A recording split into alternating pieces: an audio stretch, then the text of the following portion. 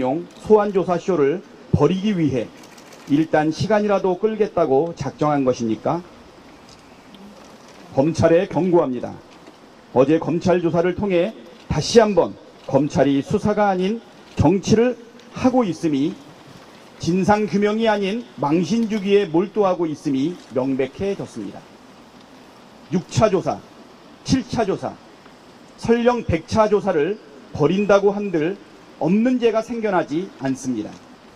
무죄를 유죄로 만들 순 없습니다. 검찰 독재 정치 탄압 대책위원회는 가능한 모든 수단을 동원해 조작 수사의 실체를 낱낱이 국민 앞에 밝히고 조작 수사의 주범들에게 끝까지 책임을 묻겠습니다. 국민이 부여한 검찰권을 정적 제거하는 데 남용한 책임은 온전히 정치 검찰로 향할 것입니다.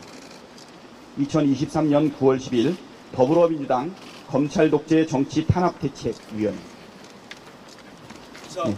회견문을 것 혹시 기자분들 질문이 있으면 받겠습니다.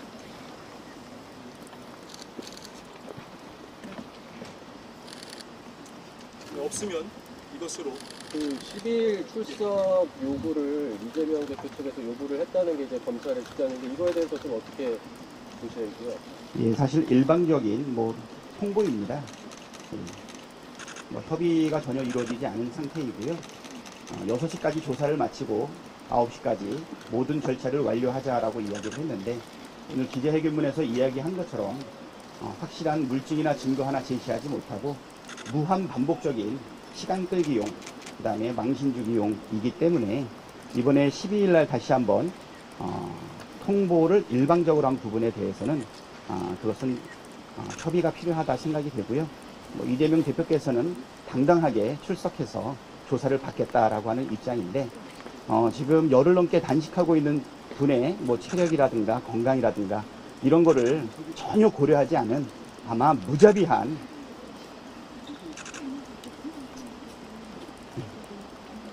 말을 잇기가 참 어렵습니다. 네.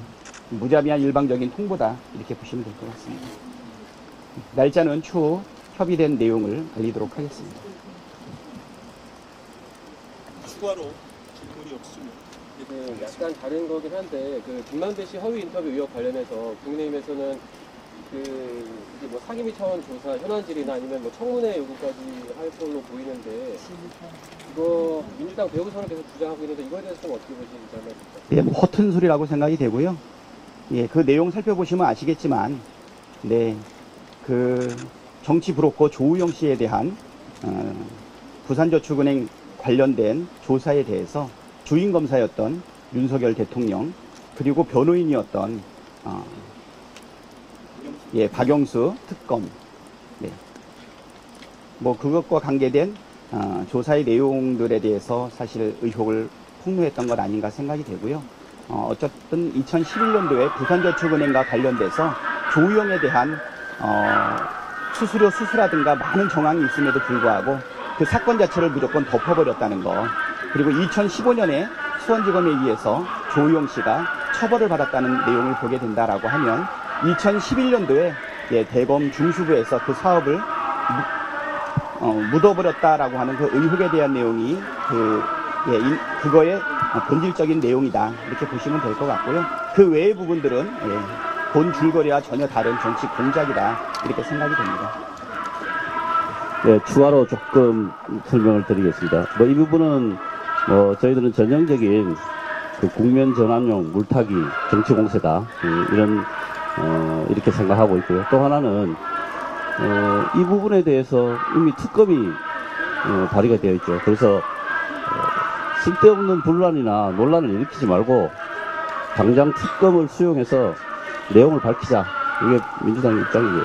그리고 또 하나는 어, 새로운 어, 방식의 어, 언론 탄압 그러니까 어, 비판적인 언론을 탄압하기 위한 핑계나 구실거리로 사용하고 있는 것 아닌가라고 하는 의혹이 있습니다. 예, 그러면 이상으로 우리가 모든 수단 동원해가지고 뭐 약간 이번 의혹 발표 내보다 이렇게 말씀하셨잖아요. 그 안에 뭐 약간 검찰 뭐 탄핵이라든지 이런 거 포함이 예, 그 말씀드린 것처럼 모든 수단을 다 동원하도록 하겠습니다. 예, 부당한 어, 정치 공세를 펼치고 있는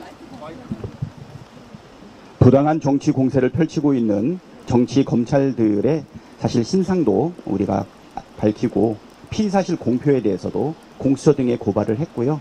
그 다음에 공무상 비밀 누설과 관련된 부분도 어, 우리가 역시 고발을 진행을 했고요.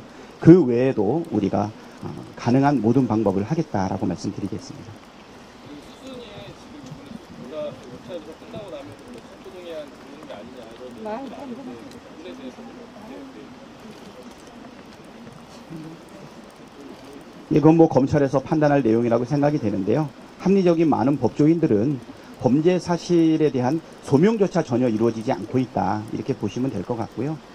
어, 특히 저번에 우리가 검독 대책위원회에서 발표한 것처럼 김성태에 대한 공소장, 이화영에 대한 공소장, 그리고 법정에서 대질신문에서 나왔던 그 내용들을 보게 되면 돈을 준 상수와 사람, 시간, 금액까지도 전체 불일치하고 있기 때문에 도대체 이것이 수원지검에서 작성한 공소장인가 뭐 형편없는 그 내용에 대해서 국민들이 아마 다 알고 있다고 생각이 됩니다. 아, 영장 발부 그럼에도 불구하고 한다는 것은 철저한 검찰의 어떤 정치적 판단의 결과가 아닐까 생각이 되고요. 영장 발부는 쉽지 않을 거라고 생각합니다. 예, 오늘 이상으로 더불어민주당 검찰 독재 정치탄압위원회 기자회견을 마치도록 하겠습니다. 인사드리고 마치겠습니다. 고맙습니다. 고맙습니다. 정치 검찰 끝에난다.